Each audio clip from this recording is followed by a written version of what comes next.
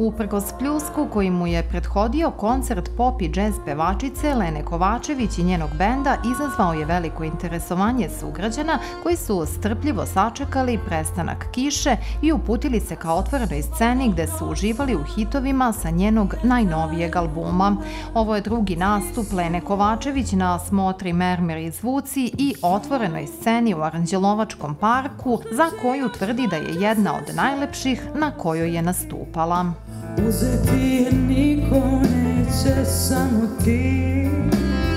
Moraš ti da me zagreš Moraš ti. Prvo, veliko je zadovoljstvo ponovo biti ovde. Uvek sam fascinirana vašim lepim gradom, vašim zelenilom, i nekako se nadam da iz godine u godinu će biti zaista sve više drveća, jer ste nekako trenutno jedan od redkih gradova gde kad dođemo imamo da smo došli u neku divnu prirodu.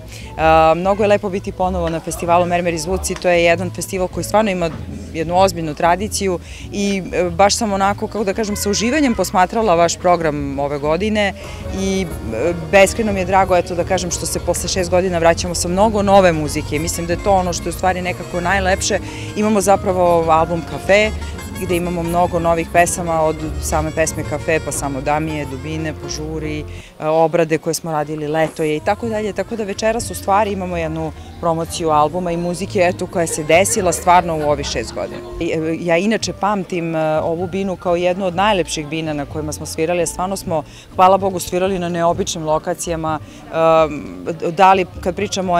nekom interijeru i eksterijeru, uvek su to onako stvarno neke čudesne bine i čudesne izvesne postavke, ali ovo je stvarno jedna od najlepših vina i nekako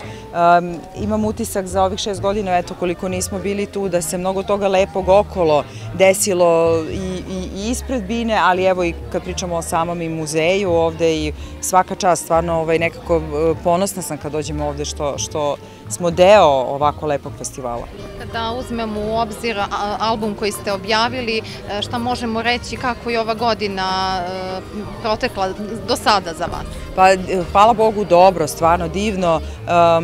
ja ne mogu da se žalim jer sam odabrala stil koji je stvarno nekakva fuzija i popa, pomalo džeza, već manje džeza, ali ima tu i nekakve šansone, ima tu raznih nekakvih stilova koji su, eto, pretočeni, kako da kažem, u jednu muzičku priču i i, obzirom na to da živimo u zemlji gde je neka druga muzika, muzika mase i uh, daleko je komercijalnija, ja stvarno kažem e, sam prezadovoljna jer su koncerti gde idemo puni, jer su sale pune i rasprodate i nekako imam utisak da smo sa ovim albumom nekako postigli ono što sam ja želela, da dođemo do, naravno, do ljudi i do radio stanica širom i regiona, ne samo Srbije, širom regiona i do publike van, van Srbije, ali takođe da nekako ostanemo na nekoj svojoj sobstvenoj niši, znate, da, da ostanem nekako verna sebi i svom nekom onako osjećaju udobnosti i ljubavi u toj muzici. Moram da kažem i da večera su sa mnom stvarno kao i uvek moj bend s kojim godinama sviram fenomenalni muzičari koji sviraju od, kako da kažem, tog najklasičnijeg popa do fantastično dobrog džeza, do e, bluza, bukvalno plivaju onako u svim e, žanrovima i nekako mi je, eto uvek, kako da kažem, za mene su koncerti najveća, najveća poslastica. A ne možemo da ne pomenemo i obrade koje ste uradili, kako e, birate te pesme? Pa u suštini leto je bila obrada i praktično projekat jednog divne radio stanice i bila je tema 90. I onda kad uzmete te 90. stvarno možemo da se setimo brdo nekakvih zanimljivih, dobrih pesama koje su imale i zanimljiv tekst i dobru melodiju, ali su ti aranžmani tih 90. bili specifični kao i same 90. što su bile onako specifične, jeli, ne, ne lake po naš narod,